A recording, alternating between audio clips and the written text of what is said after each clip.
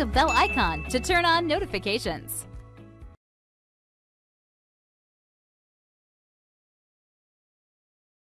Let's start out by familiarizing ourselves with the SharePoint interface. And we're going to learn how to navigate and also learn some of the keywords to identify different elements.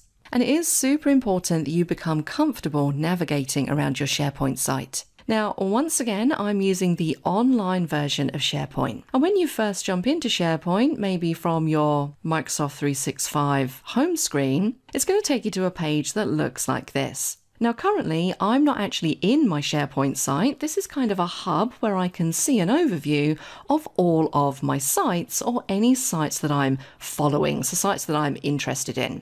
And you can see on the left hand side, I'm following the site that we're going to be using right at the top here, just to make it easy to access. And then underneath, I have some recent sites that I've also accessed. Now we're going to come back to this screen many times throughout this training course. So let's just very quickly dive into the site that we're going to be using because this is the page that I want you to get familiar with. Now, running across the top, we have SharePoint, and then we have a search this site area at the top. And again, we're going to look at this more when we take a look at searching for different documents and things within SharePoint. But that's basically a universal search that's going to help you find your content. Over on the right hand side of this top bar, we have a little cog icon, which is where you'll find all of your settings for your site, a help icon, and then we have my little profile photo up there. Underneath that, we have the site header. And this site header in general contains the title of your site, so whatever you've chosen to name it, in this case, SharePoint Online Training. And it also contains a logo if you've uploaded one. And you can see there, I've created a very quick, very basic little logo. I just did it in PowerPoint and uploaded it to the site. I can see that this is a public site. And when you create a site, you can choose to create a private site that just certain people have access to, or a public site that everyone in your organization can access. And then all the way over on the right hand side, I can see that I am following this site. So any updates I'm going to be able to see. And I can also see that this site has three members. Now, all the way over on the left hand side, I have some icons. And again, this just helps me to navigate. So if I want to go back to the SharePoint start page, I can click the little home icon and it's going to take me back to that kind of main hub where I can dive in and dive out of various different sites. Underneath, I have a My Sites icon, and this is going to show all of the sites that I've created. I have a My News area, and we're going to talk a lot about news later on in this course. But you can see here I've actually posted a news article, so I can see that listed underneath my news. And then finally, we have a My Files area. So these are generally files that I've uploaded or shared within my SharePoint site. Now, in addition to these little icons, we have the quick launch bar, which is very much related to just this SharePoint site.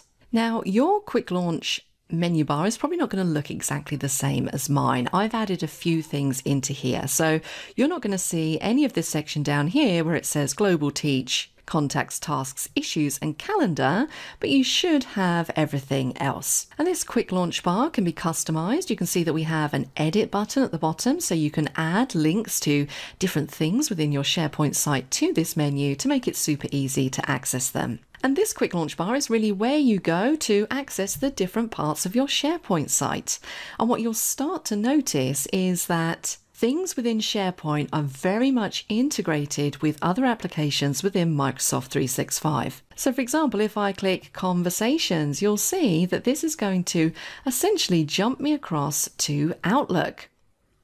Because when I created this SharePoint site, it also created a group for this site within Outlook. And if I scroll all the way down to the bottom, you can see here under groups, there is the name of my SharePoint site, SharePoint Online Training. We've got the three members, and I can now do things like send emails, I can start conversations from within Outlook, which are going to update in SharePoint as well. You'll see also there is some integration with Microsoft Teams here as well. And then we have things like Documents, Notebook, which allows us to create a shared OneNote notebook for all of our notes related to this particular project.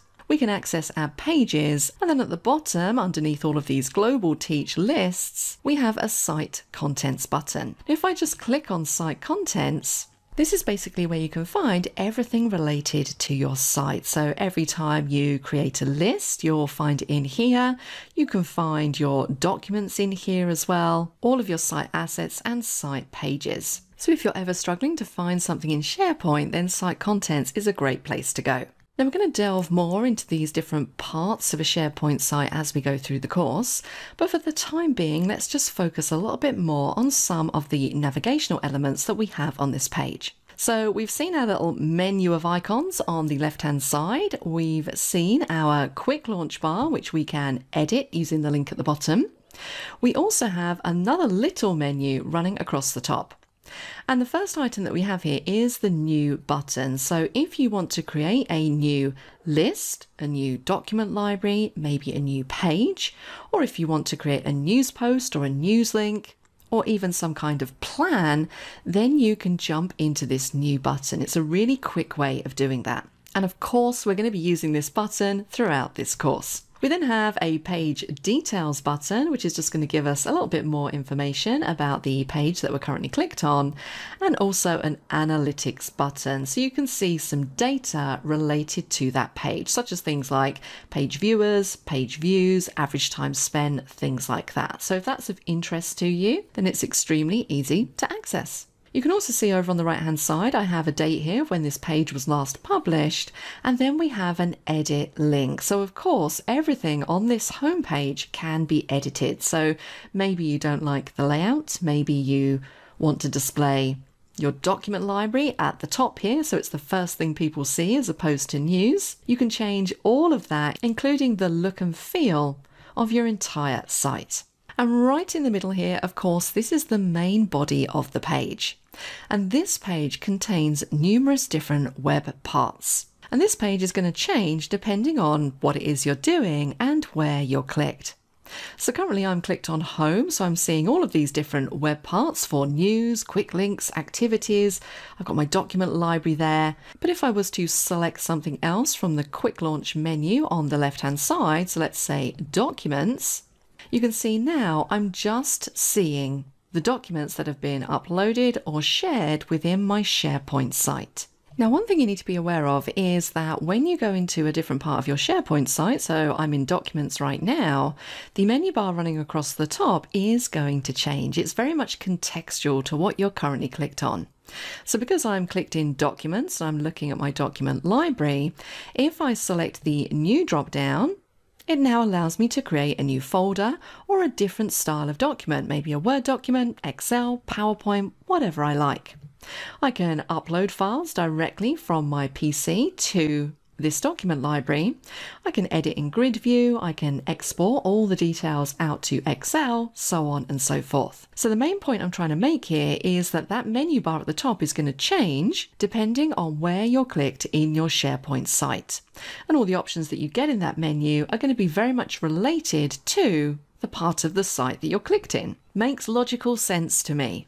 Now, of course, if you ever just want to jump back to the home page of your site, you, can click on the home link in the quick launch menu bar, and that's going to take you back to home. And if you want to jump into a completely different site, remember if you go to the icons that we have all the way over on the left hand side, you can jump back to the SharePoint start page and dive into a completely different site.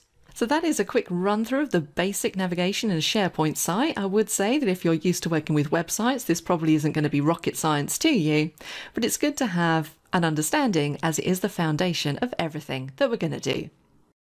If you're not a subscriber, click down below to subscribe so you get notified about similar videos we upload. To see the full course that this video came from, click over there. And click over there to see more videos from Simon Sez IT.